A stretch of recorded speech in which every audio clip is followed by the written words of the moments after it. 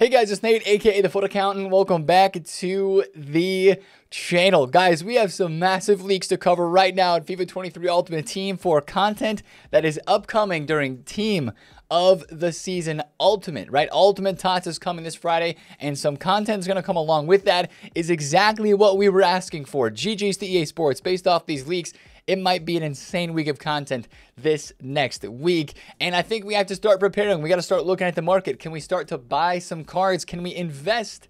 Because some of these prices on the fodder side of things, since this is an SBC related leak, could be going up very soon. And I think we might have to prepare earlier rather than later. So I want to take a look at that in today's video and how else this might impact the game, especially as we get closer and closer to the biggest week of Team of the Season with all the best cards back in packs Ultimate Tot. So if you're excited for the video today, drop a thumbs up on it and of course subscribe if you are new. Now, straight away, let's look at the leak. This is the post that was made just about an hour ago from FIFA U Team, one of our very credible leak sources, and they say starting June 9th, which is this Friday when Ultimate Team of the Season is going to be released, they are going to be dropping an end of an era SBC every single day on this game. The only confirmed leak right now is Milner, but this is giving me flashbacks to the daily icon SBCs that dropped during La Liga team this season, but this could be even better, right? These are players that have left their clubs or have retired recently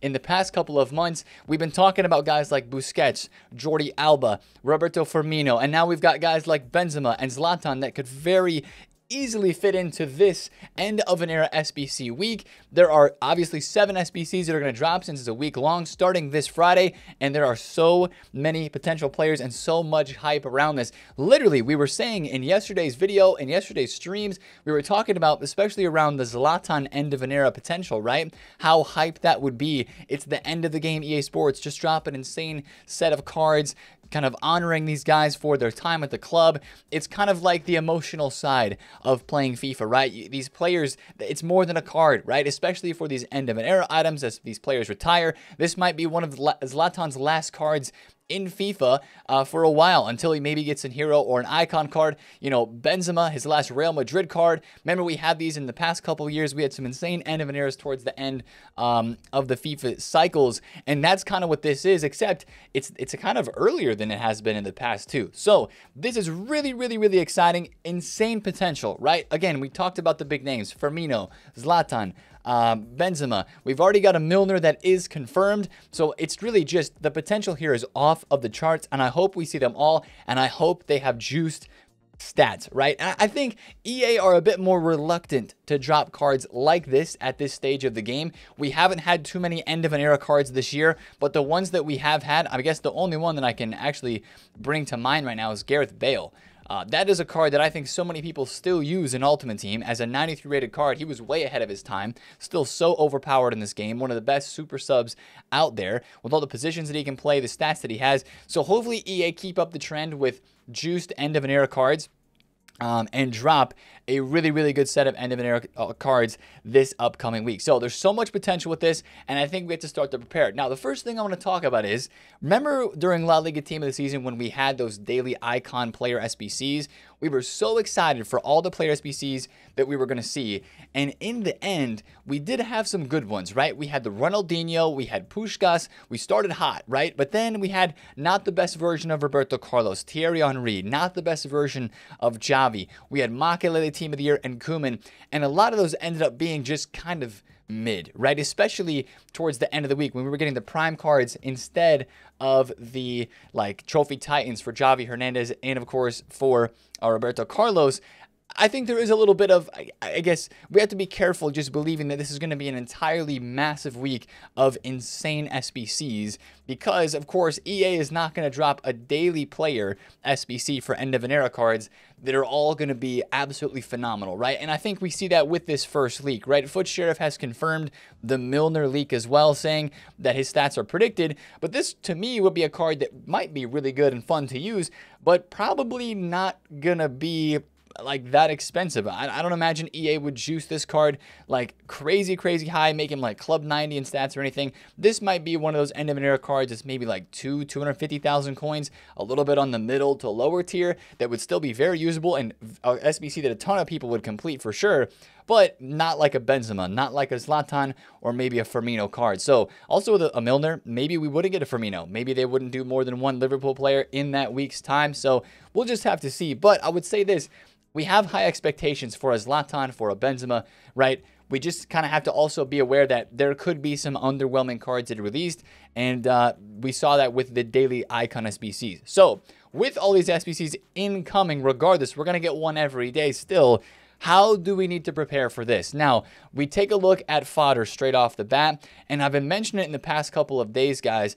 The high rated fodder is probably near its lowest now, I would have to imagine, as we are kind of nearing the end of team of the season. One thing that happens every year towards the end of TOTS is high rated fodder goes really, really low during team of the season, right? And it goes crazy cheap because we have all these team of the season cards that come onto the market and they flood the market with these brand new, uh, higher rated cards, and it makes all of the gold fodder and other fodder in this game drop, right? That has happened. And now prices have been low for quite some time. We've got 88 rated cards that are 15 to 16,000 coins. I mean, you guys remember when these guys before team of the season were like 30K, right? 88s were 27 to 30K, and they've been here for now about a month. They've been about below 20,000 coins. Now, we did see a nice spike back this week, but if you take a look at some of the graphs from last year, from here on out, on out it's basically they're going to continue to rise after team of the season ends and uh, we get a lot more SBC content like we're supposed to be getting, I really think there's good potential to see spikes like this continually for the next couple of weeks. Now, I know fodder is up, right? Again, we look at the 88s, they're 15, 16K a piece, 89s are 20,000 coins. They have started to go up in price. 91s, I mean, Benzema, De Bruyne, these guys uh, were 25K, I think, at their lowest. Yeah, during the week last week. Now they're 30,000 coins. But I think a lot of this high rated fodder, specifically the 87s to the 89s, I think is a good look for a potential investment because there's not just end of an era SBCs that would require those cards. I think also we've got better icon SBCs that are out right now. We've got a 90 plus icon player pick that is going to be refreshing on Thursday.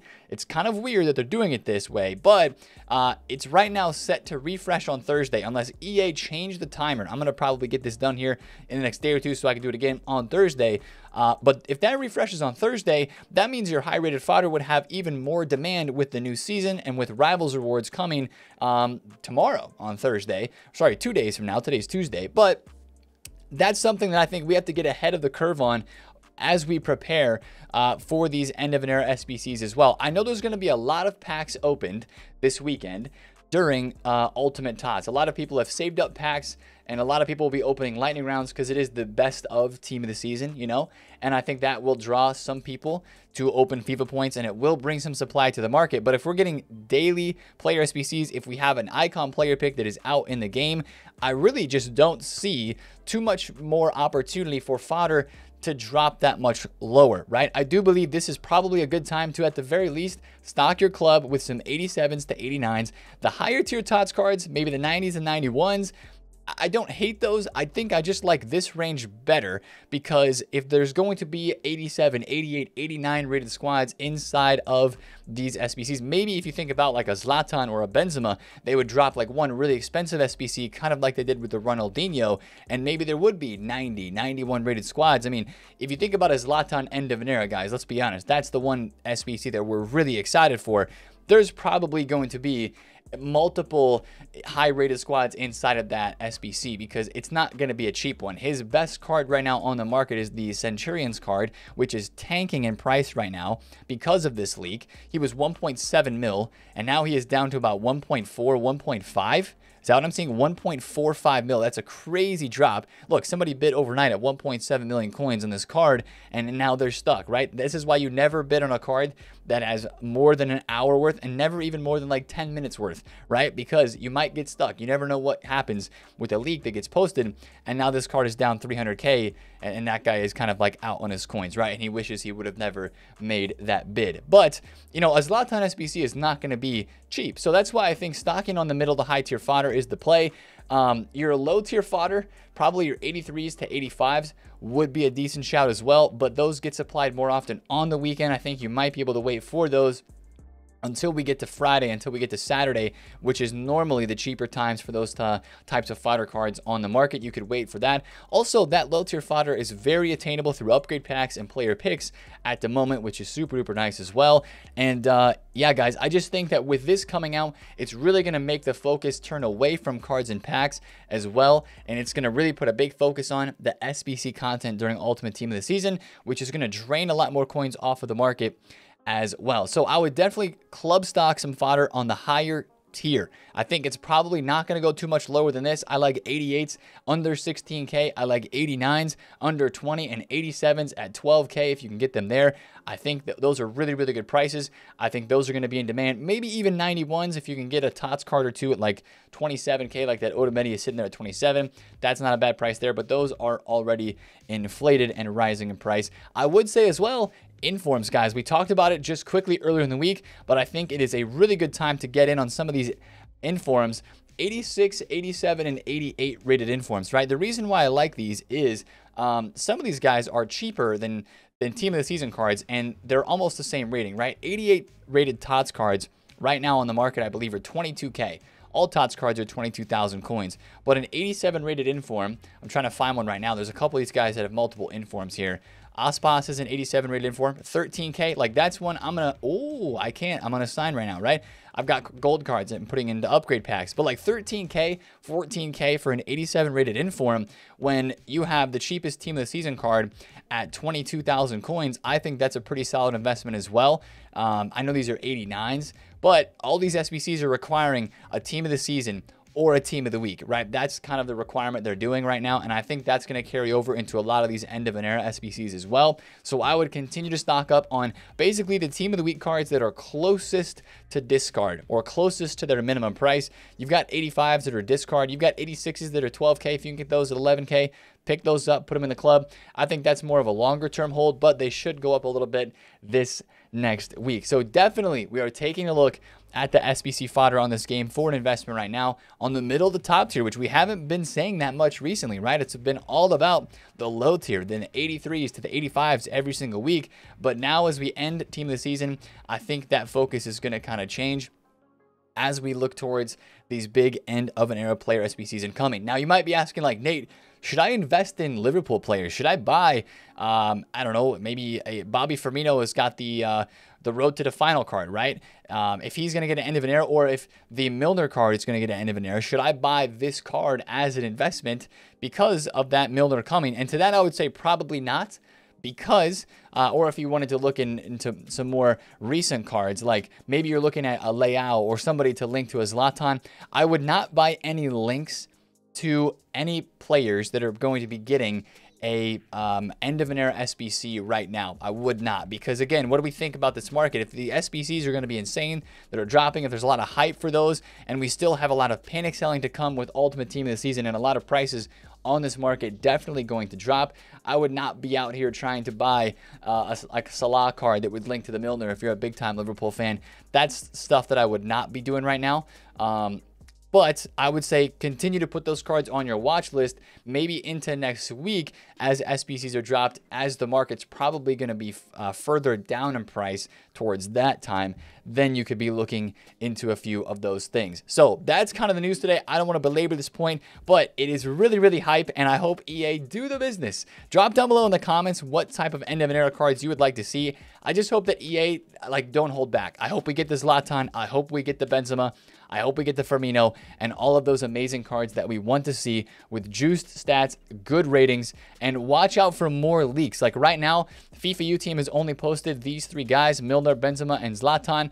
Milner's the only confirmed one as of right now, but keep an eye on their Twitter because these guys seem to be almost faster and better leakers than FUT Sheriff. Just keeping it a buck because yes, FUT Sheriff did post this, but they posted all this info and, and they have been spot on. They haven't missed unlike anything uh, in the past couple of weeks. So that's kind of what I would watch out for. But this is big time hype, and it really could mean a nice, nice week and a very exciting week of Ultimate Team of the Season upcoming. So if you're excited for that, drop a thumbs up on the video, comment down below if you have any questions, and of course, subscribe if you do. I'll see you guys in a Twitch stream or a video soon. Links are down in the description. Check those out. It's been Nathan for the Count. See you later. Peace out.